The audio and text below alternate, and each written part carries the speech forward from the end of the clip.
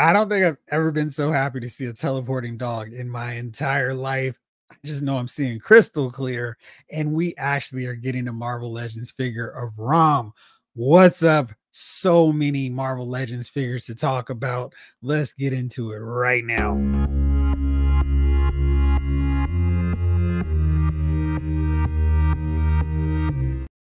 What's up, everybody? It's Jeffrey Lyles, another edition of Lyles Figure Files. So many videos worth cranking out because it is San Diego Comic Con season. And oh man, so much stuff. I feel like Marvel Legends really came through strong, lots to discuss. Of course, so many things on my hit list, the ones I really wanted to see, are left undone. But what we did see, I was encouraged by the change in the HasLab format also very encouraging because there are tons of giant characters and I don't have to sit through a HasLab window to hope I can get. But let's take a look at all the stuff they showed off. First up were those Sentinel Army Builder two packs, and we see them battling Colossus and Storm here. Note they have Colossus crunched over or hunched over, Storm also bending down, so we can't see exactly how diminutive these Sentinels are next to him, but their colors really do pop and they look fun, especially if you can pack them up in an army builder scene like this. They don't need to be 12 inches tall, they're still intimidating. And now that they've changed up this HasLab format, maybe we'll see the Sentinels in their proper gargantuan height really soon. But uh, there's a ton of stuff. One that I was very ecstatic to see was Crystal. My only question was which version we were going to get of her first. Turns out they go the classic Inhumans look. This makes the most sense. You can also pair her with the Inhumans to battle the DNA Guardians of the Galaxy, Mary, Ronan. So there's lots of cool stuff with this outfit. This choice for Crystal. You note that she's on the Shriek body, I believe. It doesn't look like she's got all that hyper articulation from Black Widow and Warbird that's okay. I feel like the Shriek body worked just fine for her. Um, I gotta assume they'll reuse this later on for the 2025 version of the Fantastic Four Invisible Woman because it'll be due for be time for an update for them. And Sue has that old articulation scheme, so she's gonna need an update. Here you go. I assume if they use this body, we can just pop this crystal head onto it and got Crystal in the Fantastic Four. But classic yellow and black. I love how vibrant the orange of her hair is. They got the stripes going through just fine. If you don't want to wait and be patient, you probably pop this onto a Cersei body, which you can find pretty quickly and easily now over at Ollie's to get the vest version. So you can throw her in with the rest of your 90s vendors. We're going to wait and hold out a little longer. I really love how this figure turned out. They actually did some cool stuff with her accessories. You can note the power effects actually loop around her wrist. So we don't have to worry about them flying off. She's channeling a little water here, a little fire, fire and ice combination. And she really looks good. And I'm excited to actually have four members of the Inhumans now, slowly getting this team together.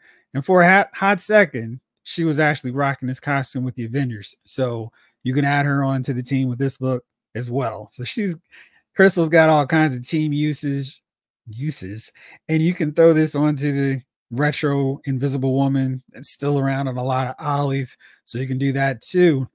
But that's not all Crystal. She's coming with Lockjaw, and it's a two pack. And I think they did a good job in terms of figuring out the best way to articulate him. He does not do all kinds of, oh man, he's crunching, he's jumping. He's pretty basic pretty much a statue. So what they did was they came up with a way to swap out these parts. And I love the fact that they always make sure to get a good boy dog face for anyone, including road pigs pit bull mix. So there's always a smiley one and the not so smiley one for for road pig. For lockjaw, we get this one and the legs swap out. So you've got the hind legs reclined back like that, resting, and then the front legs kind of resting so he can do this. I think they got the scale just right with him because that's about the height he should look next to Crystal.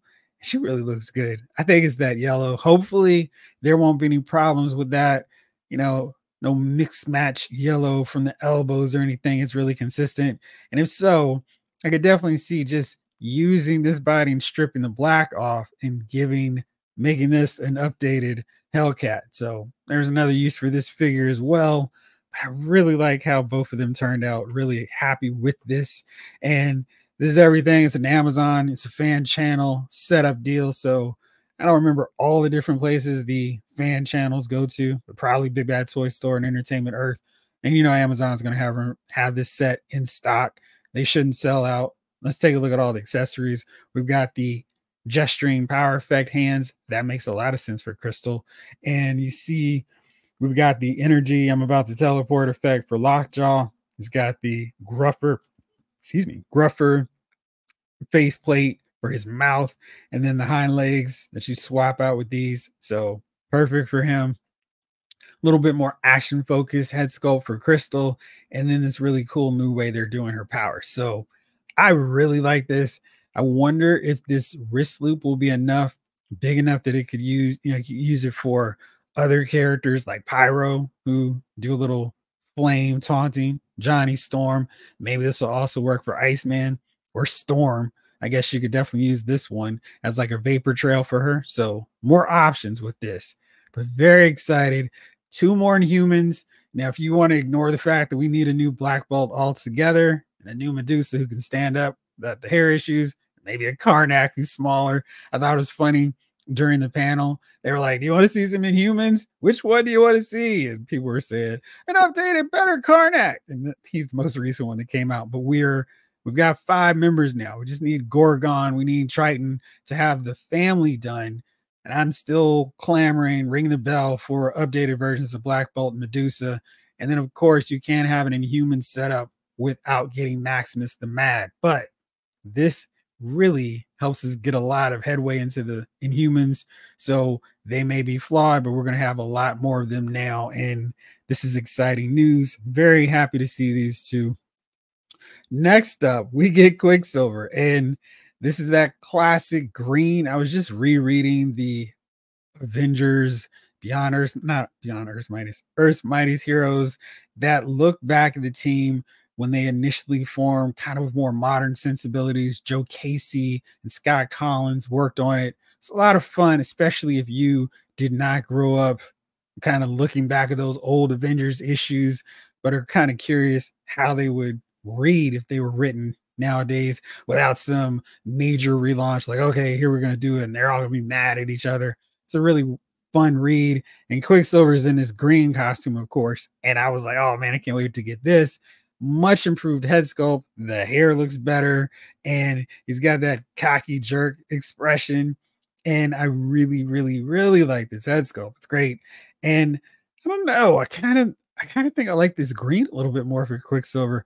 I don't really remember when he switched over to the blue, but for a nice long amount of time, he rocked this green and white. And this looks good. The butterfly shoulders, of course, will help him get those runner stance poses and he can take off. So he's going to look really good next to our 20th anniversary Captain America, the retro Scarlet Witch, and the Hawkeye that comes with that Sky Cycle. So we're going to have Cap's kooky quartet. Hopefully, really soon afterwards, we'll also be able to get a Goliath and a red and yellow wasp so we can have most of that team. We already got Black Panther, so we can continue expanding that roster of Avengers very exciting. Nice to see him. They're not continuing that Beyond Earth's Mightiest campaign, but it's always good to get another early esque Avenger for a second roster. So he's still early, but I'm really excited about him. I love all these poses. He can really hit this arrogant jerk expressions. And I think they actually nailed the green just so a little bit darker for the tights. This is a nice kind of sea green, I suppose. And the lightning looks really sharp. Very cool. The only problem is, only thing is not cool. He's a Walmart exclusive. Hopefully, he'll be easy to get. I don't know about you all. I was able to get the Venom and the Warlord Professor X from from Walmart.com.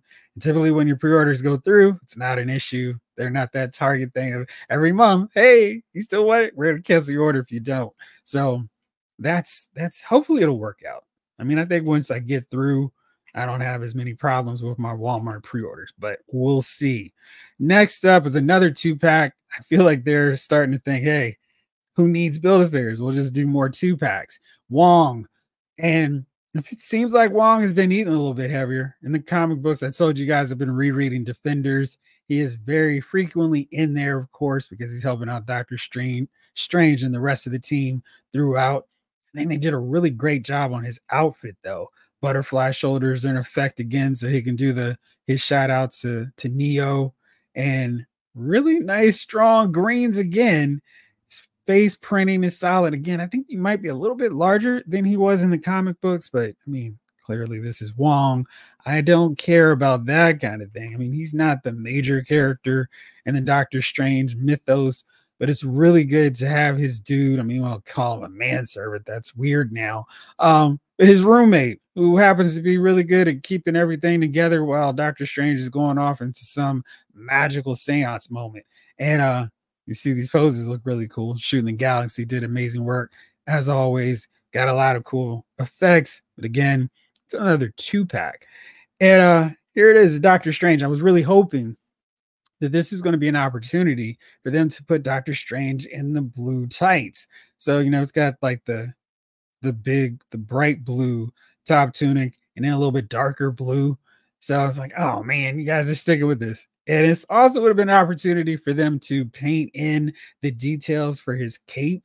Uh, the sculpt is there. You know, the lining is all set up, but it's not there. They didn't paint it. And again, they didn't do it. This time they opted to go with the sicklier, pale skinned version of Doctor Strange to kind of go with the he's getting possessed. Uh, I thought that was an odd way to go with Doctor Strange. Wouldn't have minded a different head sculpt though, maybe a little bit closer to the Toy Biz one, which I still think is amazing. But there you go. Got a purple power effect. That's cool. Mixing it up. I mean, that's that's one that's been done a couple times with the Doctor Strange movie figures, but I like seeing this purple just to say, hey, this is a different spell he's casting. And the inclusion for this one was interesting, I suppose. It's Bats, the astral dog, a basset hound whose original owner, 16 years, suffered a heart attack and left him in a shelter. They was take, left under the care of Stephen Strange, Jesse explained that, oh man, somebody at, at last year's Comic Con was in cosplay as this guy or as Bats, and there you go. They decided to make a figure of it. And Bats is a relatively new character, 2017. So sorry, people who who were hoping to see uh an old school classic character like the wizard, the trapster, Banshee in his green and yellow outfit. We got to get dogs out of here. So, you know, I'm not going to hate. I think the figure looks pretty cool. It's a toss in and whatever. A little astral basset hound. I mean, we're going to have a pretty extensive menagerie of, of pets here after these 2024 releases. So that was kind of fun. I guess you could repaint it to make it actual brown and whatever other colors you want to make your basset, but there you go. And there's a stand that you can put bats on as well. Here's the corrupted version of Doctor Strange. Seeing you're still able to do those cross leg poses. And then there's the Dormammu head. Again, I mean, I've got a really great Dormammu. So there you go. The darker colors on the outfit are a nice little change of pace. I think the real attraction here is Wong. And so the Doctor Strange is like, oh, okay, whatever. And it mixes up his look a little, but I'm excited to get a Wong figure. That's cool. Get him in two pack. But uh, you know, this will probably be one that you can see later on sale. It's an Amazon exclusive, and as we know, these Amazon two packs do go on sale. I mean, we got the Baron Zemo, the Arnim Zola. It's 50 bucks during Prime savings de- deals. It was 40 bucks. I think this one would be great for 40 bucks. So I have to keep my eye on that price point for later on. But you can see Wong and Doctor Strange have the same effect pieces, just changing up the color does do a lot to make that stand out. Very excited to get Wong. One that was not on my list of, oh man, Wong is definitely my top 20, top 30, maybe even top 50, but he's a useful character. So I'm not going to be upset about getting him, adding him to my Marvel Legend ranks time for an updated figure. It's been a while since they've done a Punisher. So here he is, and he's back in black, except for that white skull, fighting Bushwhacker. This is cool. I'm really excited about getting him. This is a really fun addition to to the line and definitely one that you haven't seen before. And I'm always about those first time in the line figures. And you see, he's got all the the crazy attachments. So very nice. Nice angry head sculpt for old Frank there. That's good. So then we've got Punisher. See him in all his glory. Small ammo, small clips there, right over his skeleton chest. So, I mean, I kind of dig this. They said it's an all new Punisher mold. I am curious this all new mold will allow me to swap out those boots. I don't think I care too much about the, the black gloves, but I don't know. It's just something weird about the the the lack of white boots. I don't know why, but it just really matters to me with his outfit. But you can see it looks like he's going to have really great articulation with that floating torso. And looks like he's got that abdominal crunch too. So he should have really great articulation. And he's got two different head sculpts one with the headband, one without. I always think it's interesting when they swap these out because, you know, when they change the hair, because it's totally different. It's not like you can have him sneakily coming up on somebody with this head sculpt, and then all of a sudden he's intense and angry, and where's the headband? So I wish they would kind of not do that kind of deal. Just just keep it consistent. And you know, if we want to change, I'll buy another Punisher figure. So you can see he's got a grenade here on the side that's detachable, so you can have him holding it, about to throw it, aiming, go long. So really fun. I dig the look on this Punisher. I think they did a really nice job with him. We got Bushmaster, and this dude, wow. I keep saying Bushmaster, and I feel like maybe I'm saying that wrong. Maybe it's Bushwhacker. Oh, so yes, he is Bushwhacker. I was like, eh, I kind of feel like he's Luke and Butch's cousin with guns. Anyway, cool explosion burst here. I know shooting the galaxy has created some, so it's nice that they actually threw this in for those of us who aren't that skilled. But he's got the gun finger, so he's all set to join Bullet Club. I love the texture work on his cannon arm. I do wish they had given him a more uh, plain basic head sculpt. All that scarring on the head sculpt is really making him non-neutral. But I guess with this excited head sculpt, it doesn't really matter. He's got a rat tail too, so this guy is ready to do some skeezy stuff. I love his collar. They really did a nice job capturing that comic book look for him, and just a real surprise character to add to the mythos. So there's another one. Yeah, I don't know if I would have had Bushwhacker in my top 70, but it's nice to get another villain, especially one who's taking on Frank Castle. And again, they they went two pack wild here. But uh here's some fun looks for him, holding the uh, the guns if you need him to not have his gun cannons and all that crazy stuff going. He could take some of Punisher's arsenal. At least one here is an Uzi. I think this is a basic submachine gun. Again, don't know all those, but yeah, he looks good. I think they did a nice job just doing something different. So another unexpected Marvel Legend villain, but here you go. And here's the two pack. This one, these pre-orders are all over the place. Uh, this one's not till August 22nd, so we've got a little ways to go. Make sure to set your alarm reminder. It's another Amazon pack, so we'll be able to benefit from it going on sale at some later date.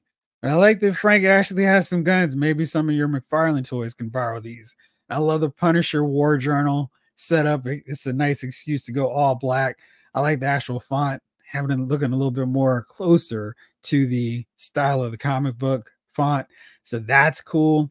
And just a really unexpected two pack here. I mean, I, I guess a new Punisher was probably needed because the old one's really outdated. And again, if I could just swap out those gloves, I'll be happy. But in gloves and boots, but this is a really nice figure. Happy to get this one. And I don't know if I love either one of these head sculpts. I think the earlier Punisher figures have a little bit better ones. This does, the headband one does kind of match up a little bit better with Punisher War Journal artwork, but no worries there. Head swaps are easy. Then we got a, a Venom pool. This figure has a little bit brighter color palette. It's a re-release, but you know, they're they're trying to take advantage of the whole hey everybody's in love with deadpool again thing. So i get it. You missed out. There you go. You can grab them again. And then speaking of deadpool and all that fun stuff tomorrow the pre-orders go up for the first three.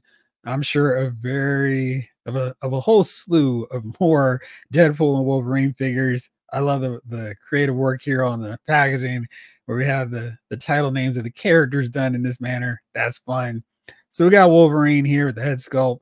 Very nicely done. I think this is a really cool figure. And I don't tend to get too many of the MCU figures in Marvel Legends format, but I might because I really love the movie.